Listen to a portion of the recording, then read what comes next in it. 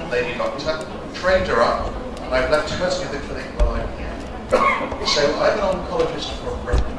Uh, I've worked on the faculty of our pharmacy and oncology meetings over the last years, and I also work in Malaysia as part of the Affordable Cancer Medicines Program. And my job is to now summarize in 15 minutes all those slides from three hours of expert regulators, because the biggest challenge comes after. We have to persuade Prof.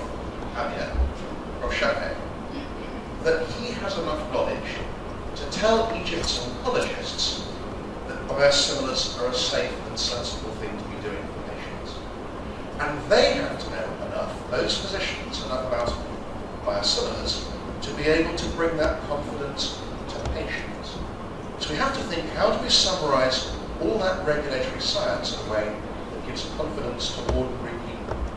And we like the challenge, don't we? So here we go. Those are my disclosures. As always, you learn more when you're teaching, so if you can think of a better way to teach something, always help out. So we're here for a very good reason. We think that drugs do have a capacity to do remarkable things for patients. I'm an oncologist like Prof. And why are we here? Well, the world of medicine is changing very fast. But at the moment, our biggest pressure on specialist drugs. And within that, it's cancer medicines. And if there's a right to health, then there's a right to get effective medicines to our patients. So here's my agenda. I'm going to cover five things just to summarize this one. So you heard first of all, what's a biologic therapy? Because biosimilars are just another version of a biologic drug. And you've heard that they come from living organisms or cells, and therefore they're very complicated. And just look at this. Remember how technology moves. Aspirin was once bio, was once biologic. It was extracted from the bark of willow trees. And in time, we will make generics of all of these, but that just takes time. So, with increasing size, they're harder and more expensive. And our challenge now is to bring targeted therapy to cancer at an affordable level. And you've heard that every single process step in making these drugs could potentially create a new version of the drug. Not by altering the primary structure, the amino acid backbone, but the post-translational modifications. Primary structure is the amino acid sequence. Secondary is the folding into beta-theta sheets or alpha helices. But you've seen this diagram before for the European Commission. There are points on each protein where you could alter the safety and efficacy of the drug by modifications that occur after the amino acid is translated.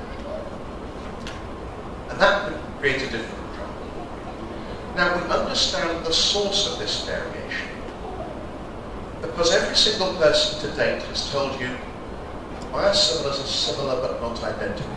That is a phrase that was dreamt up for anti-biosimilar marketing. So let's be clear. If I have a vial of biologic drug here, there is no unique structure, it's a mixture. Because biologic cells and tissues make mixtures. So this is red cell growth factor. There are four positions where I could add carbohydrates, which could alter the shape and function of the molecule. Now why is that important? Each site there's about 20 sugars can add, which means that in factorial design there are 20 times 20 times 20 times 20 versions of this drug I could make from one primary structure. So the result is that this drug, even in its original form, is a mixture. And just very simple gels, isoform gels, will tell you that this drug is not one structure. There is no unique structure of any biologic drug. Any biologic can only ever be similar. Which is why, although it's not correct for regulators to say it, every drug in time will become a biosimilar of itself. Biosimilar is a regulatory term, but we know what they mean. They're always similar, never identical. Now you've heard about manufacturing. As drugs evolve, we want to make them better, most effectively, purer, longer shelf lives. So all drugs eventually will be re-engineered with a new process change. And that, I've told you, could alter the structure of the drug and therefore its function. Which means there's a second step. So the typical biologic drug sold in Europe has been through 11 different structural versions. And it's important, therefore, you heard from the regulators, that we can make sure that the drug works the same now as it did 20 years ago. So let's look at a drug that's important for leukemia and lymphoma called rituximab. And you'll see that over time, batches bought with different batch dates showed microheterogeneity of a key factor, the amount of glycans. Fucose, you'll learn, is a very important part. And then you can see, at this point, an entirely new structure of the drug is released by the manufacturer. It's been re-engineered, something we call a step change in an important characteristic. So that version of the drug has never been seen in patients before. This is common. This looks at just monoclonal antibodies in Europe, and you'll see that there's a moderate to high risk that a manufacturing change would cause a new structure of a drug to be produced for pretty much every drug. The only one here hasn't have never been launched at the time of this survey. So re-engineering drugs goes on all the time. Some have had 50 versions since they were launched.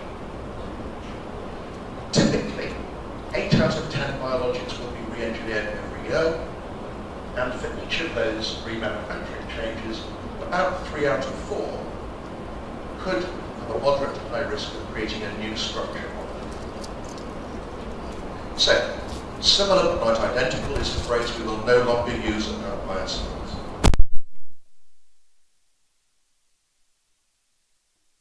Of the original and the biosimilar is identical. We know how to approve a originator drug. We want to show that it's clinically superior. We need a pivotal trial. That's the most important part. Powered to show it's better than what we've got before. And every time a new indication comes, a new pivotal trial is required. So once patents expire, we want copies of drugs to bring competition to lower prices, whether they're small molecules, generics, or biologics, as. So generics, you've heard, really are based around analytics. If the drug substance is chemically identical, and the formulation means that it's released in the body at the same speed and the distribution, then you can predict if the quality is good and the label is appropriate, that it will behave in a highly similar way. So this is the point about bioequivalence. These don't have to be identical, you can alter the formulation, but only two things matter really, the structure of the drug and the pharmacokinetics. But I told you that formulation does other things for biologics.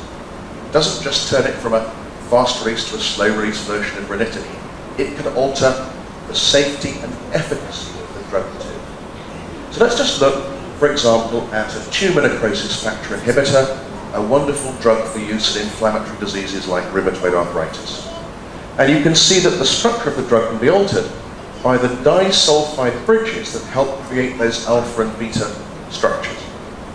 And so let's just look at what happens if they're incorrectly created in a drug called etanercept, which we can use pretty simple X-ray crystallography to do.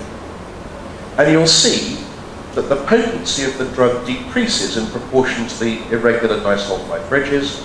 So a 4% difference in that structure halves the potency of the drug. So formulation matters, it really does matter. Let's give you one more example before I stop, because we're going to talk probably about cancer therapy drugs, which will antibodies. So monoclonal antibodies are a pretty good example. At one end, imagine I'm an antibody, this is where I bind the antigen. That's the recognition part.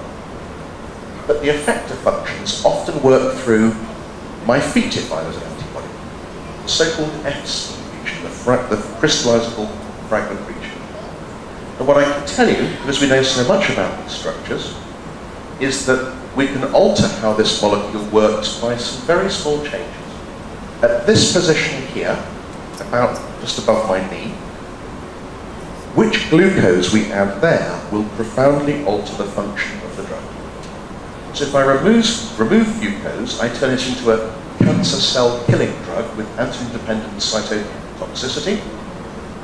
But if I add sialic acid there, I can turn it into an anti-inflammatory drug. And that can alter the potency 50-fold. So look, that's just two examples about why formulation matters more than just PK. And so the generic approach won't work because the PK and structural data is insufficient. We need additional data to show that it will be similar. So we need pharmacodynamic endpoints to pick up whether the structure has altered the function.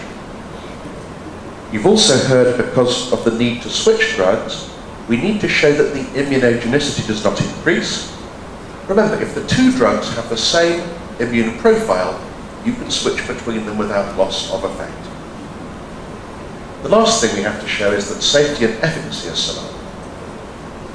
So how do we do it? And that's the job of the regulator through five key steps. Now remember, there's no requirement to prove the safety and efficacy again. We just have to show it's similar enough not to matter. So there are two phases, analytics and clinical trials. Now for a small molecule, it's easy. Identical drug substance with a similar formulation, giving a highly similar PK, predicts so well that you don't need clinical trials for most generics. For a biosimilar, the steps look the same, but they're more complicated. We can prove identical primary and secondary structure, but you can never entirely prove tertiary structure because each drug's a mixture. So what we have to show is that the biosimilar has variation within the variation of the original, that the variation is identical. If it doesn't, we have to justify that by another way to show it has no consequence. We need to show that the biopotency is good because I could alter the sugar at this region of an antibody and alter its action by 50-fold. Then we move to patients and show that PK is similar, and if it doesn't, we have to show that has no clinical consequence. And we mandate clinical trials, you've heard, because you can't model immunogenicity in a mouse. Now, the most important step is the analytics. Because since these drugs were developed 20 or 30 years ago, the original, our ability to see into the drug structure has been transformed. And one of the key tools is mass spectrometry, which has increased in power in 20 years 10 million fold. It's like going from this telescope to this one. Now imagine how much more you could see about a drug if you could see 10 million times better into the molecular structure of the drug. Because we can now detect a difference in 1 in 10 to the 11 molecules, which means we can map the structure and function of a monoclonal antibody and therefore copy it. And that pathway is what led to drugs that we now call biosimilars. It's a regulatory term. Now I want to show you the power of giving you a better telescope or a better microscope. So here's a quiz to see if the coffee has woken you up. I'm going to change this picture, doubling the resolution every one second. The moment you can see what it is, just shout out what you've seen. Here we go.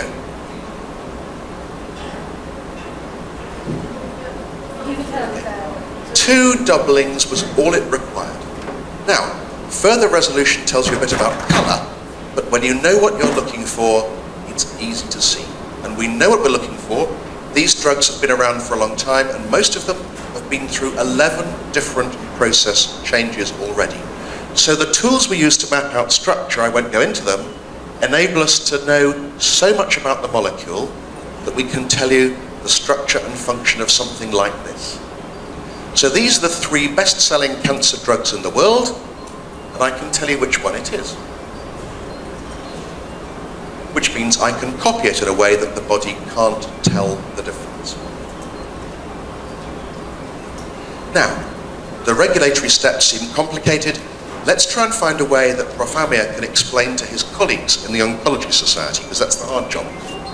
We have to show that at each step, the biosimilar is comparable to the original drug. And I've told you that our first and most important step is the analytics.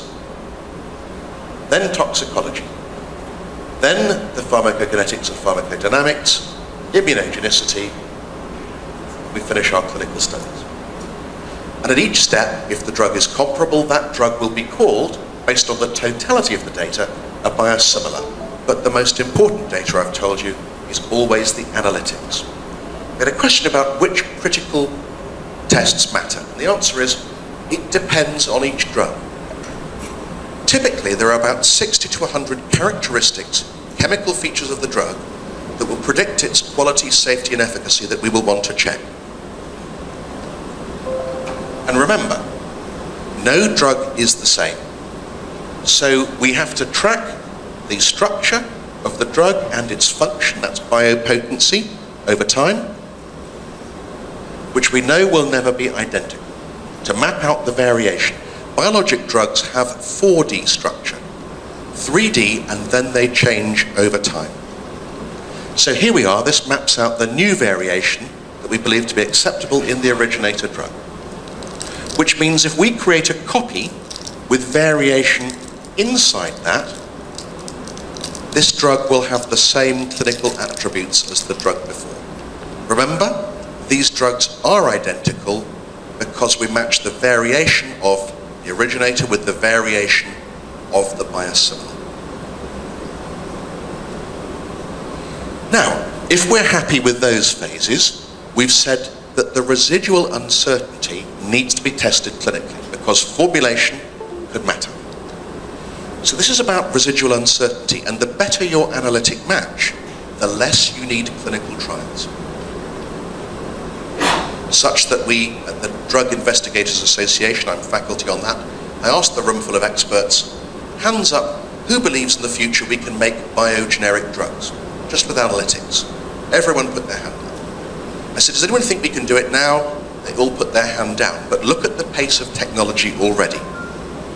But here we are. We need these clinical studies because of the residual doubt before we approve the drug. And if we explain this to people for whom that's too hard, let me give you the simple explanation. Which key will open this lock? And the answer is, well, it depends. Does it depend on the color? Does it depend on the shape? No.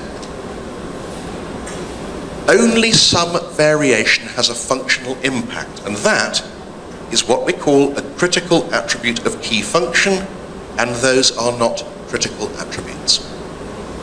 Got it? Variation can be perfectly safe. So let's think about Prof. Amir. One of the drugs we expect to launch across the world in the next two years is a wonder drug for breast cancer called trastuzumab. One in five women with breast cancer have high-risk disease that makes them die many years early. And access to this drug can restore them back to normal lifespans, which is wonderful. Can anyone tell me how many versions of the original drug have been sold since the first trials launched the drug? How many? Anyone got a guess? So the answer I've told you, the average drug has been through 11 versions, and this one has been through 52. Okay? Now, it's a wonderful drug, it's been tracked over 52. Let's show you what's happened at the 51st and 52nd versions. So remember, we're looking at structure to predict function. So what you find is this, that we want to keep the function within plus or minus 20%, and I told you that the fucose sugar content was a big driver of the immunogenicity of the drug, which could be important to its mode of action. So you'll see an entirely new version structure of the drug was created with batches ending around 2018, 2019, and that dropped the potency of the drug to 50%. The 52nd version of the drug altered the mannose concentration and has brought some of the function back to that drug. Now what I need to tell you is that no regulator in this room would approve that as a biosimilar. That's too big a step to do without comparative clinical studies. So in the end, does biosimilar regulation work? Because you know, when I'm in a clinic and you say to a patient, I think you should use biosimilars, they're good for you, they'll save you money, it'll give us more money to look after you in the future. They want to say, well, doctor, is it a good idea? And what they really want to know is, would you use it yourself give it to your family? So the answer is yes and yes. Because in the end, all of that science may be beyond many of us. But let's think of regulators as a black box. We don't know what goes on inside the black box, but we know that drug companies come with data, that the regulators are expert in looking at that data and they have questions backwards and forwards, and they make a decision. It's either a biosimilar or it isn't. And how good is that decision in Europe where this regulatory pathway was pioneered? Well, we now know. We've had 12 years of biosimilars with 38 approved and marketed and more than 700 million patient days exposure, and these drugs are safe and effective. You can extrapolate them and you can switch them as part of a normal tender process. Every single one of those drugs, after five years, has to resubmit all the data. They've all been uh, reproved. So the answer is it works, but it, this is a caveat. Biosimilar is a regulatory term. There is no one test for a biosimilar, it's what a regulator says. And regulators in different parts of the world will call follow-on biologic drugs biosimilars when they have not been approved by this five-step pathway. So for example, in India you can buy biocopy drugs, which almost certainly will be in use in your country. These may not have been compliant with the current WHO European, American, Japanese pathway. And as you've heard, we correctly call these drugs intended copy biologics. People intended to copy them, but they didn't manage to compare all five steps of the regulatory process. So in summary, before we get Prof. Vermeer to do the really difficult job, these are drugs we need, but at cheaper prices. We really understand that formulation matters for biologic drugs, in a way that for generics will only alter the PK for most of them. We understand, therefore, that there is residual uncertainty that needs clinical trials, but with time, those clinical trials will get less important as analytics improve. The last part, how good is the pathway? Well, you've done a very sensible thing in Egypt, which is you've aligned yourself with the current WHO EMA pathway, which predicts that biosimilars in Egypt will be just as safe and just as effective as they have been in Europe. Thank you.